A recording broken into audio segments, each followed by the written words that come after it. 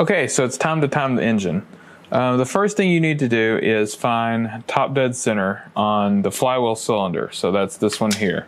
So um, the way I'm doing it is I use a little cylinder stop here that uh, happens to be an M14. And I thread that in until I get it where I, a spot. Doesn't really matter where that much. Yeah, right there is where I had it. So I made a mark at 90 degrees on this wheel. It doesn't matter where either. Um, then I'm going to turn it all the way around the opposite way. So I guess right there, which happens to be right here. So now we're at 180 degrees right there on the wheel. So um, halfway between 90 and 180 is 135. So I marked it right there.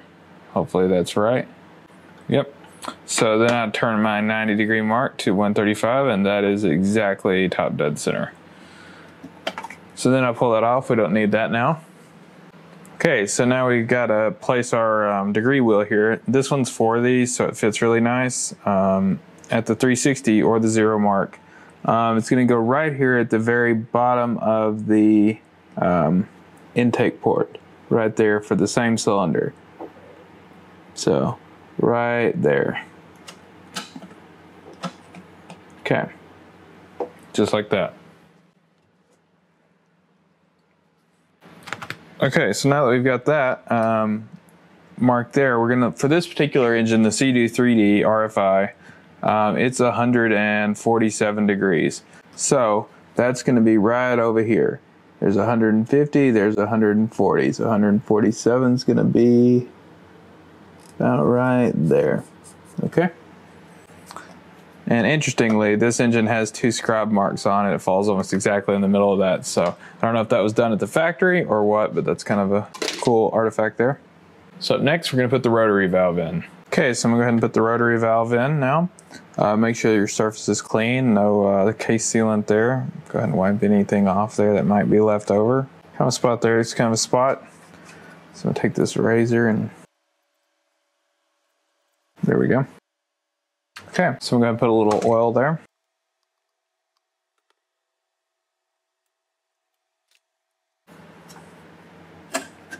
So this engine pretty much went right on perfect. Good. All right, there we go. So now we'll put the cover on. Then um, have the rotary valve cover here that goes on, or intake, whatever you want to call it. And it's just going to sit right on here like that.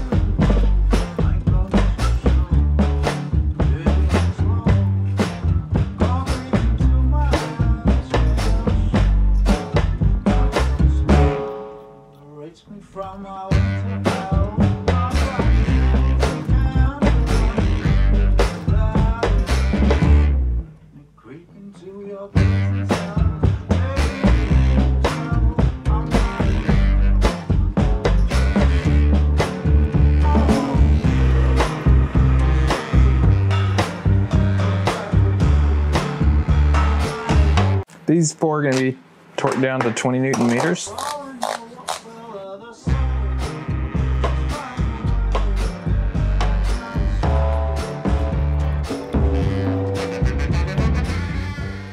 right, so that's on now. Okay, the last thing here on top of the engine is going to be these RAVE, RAVE valves or the exhaust valves. Um, of course, new O-rings. And then they go in just right there like that. With the kind of slant down. I think this one's kind of hard to get in.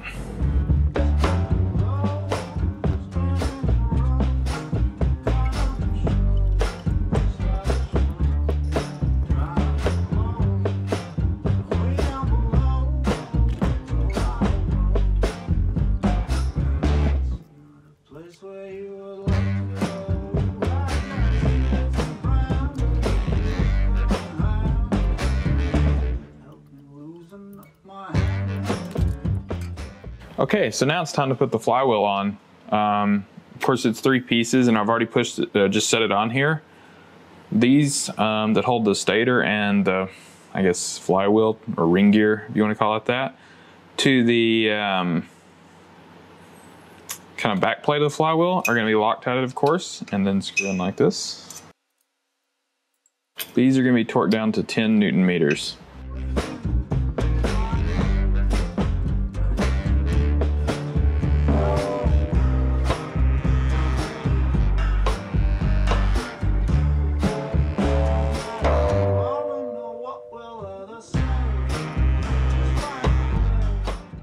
Said, these are gonna be torqued down to 10 newton meters. I'm gonna do it in that kind of star pattern.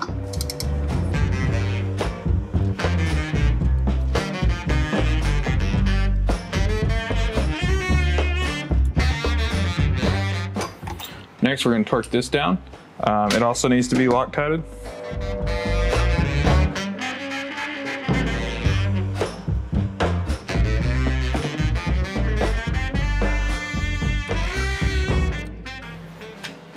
This is gonna be torqued down to 89 foot-pounds. Okay, I'm probably gonna get a, I don't know, screwdriver.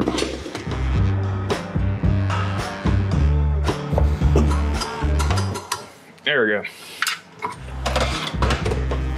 Okay, so now we got the uh, flywheel on there. Um, it's time to just put the cover back on, front cover.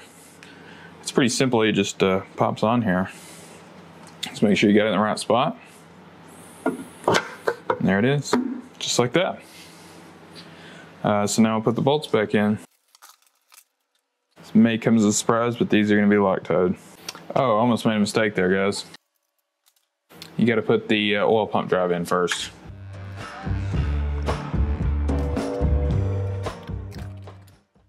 This goes right there and that drives the oil pump that's on the front of the engine. Now, put that on. so you know you can see it there. I think this engine may have seen some salt water.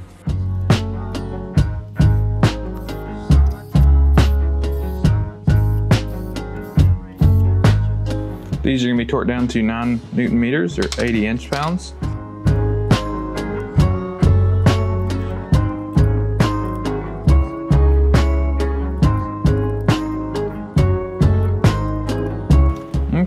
Okay, there we go.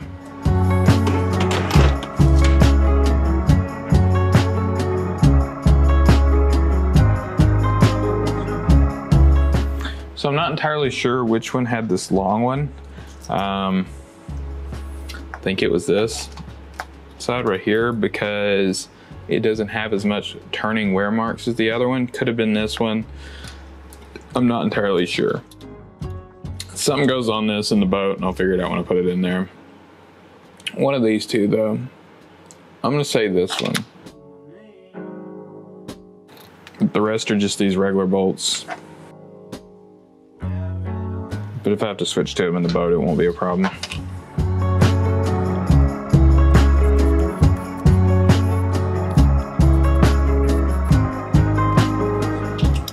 These will be torqued down to 9 newton meters as well.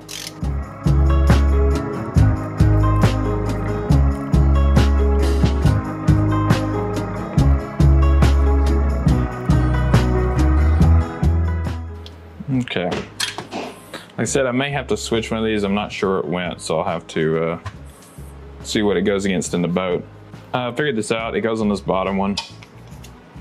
So we'll switch these real quick.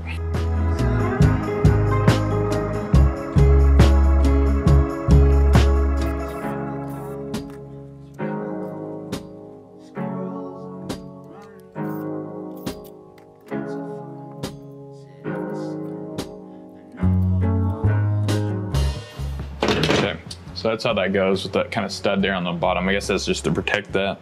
Okay, so now I'm gonna go ahead and install the starter here. Um, of course, Loctiting the screws. There's gonna be three, of these kind of long ones that look too long, but they're not.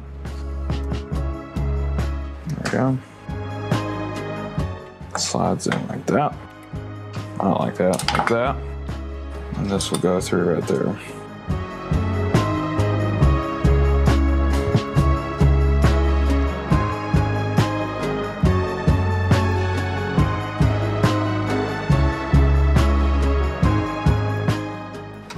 Get those two pre-tight first and I'll put the back one in here.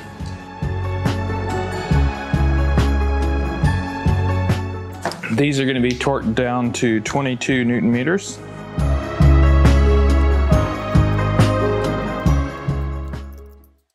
Okay. Then the top one also has this nut on it as well.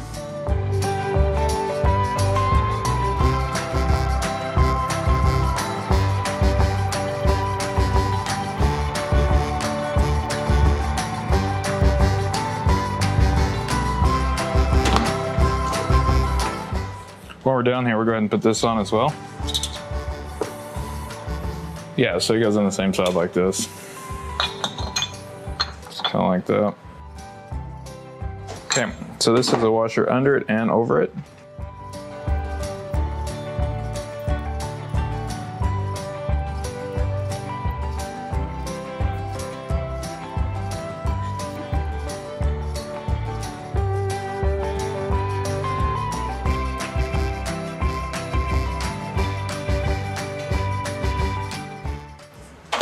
Okay, this has some adjustment to account for the pipe.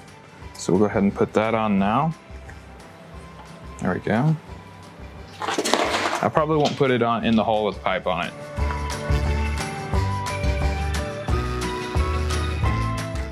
Okay, so go ahead and put one of these in, just prevent that from happening.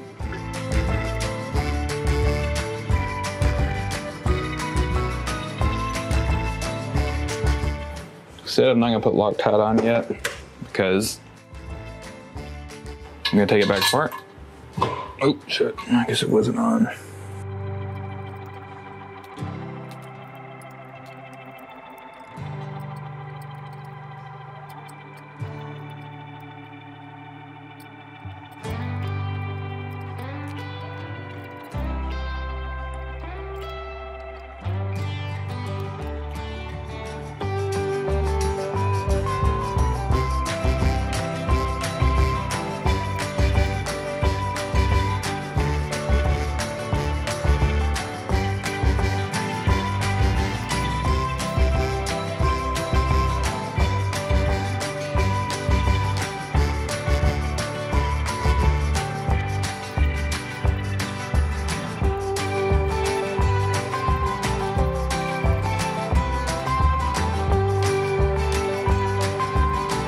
Okay, now we got that in there, we can uh, tighten these up.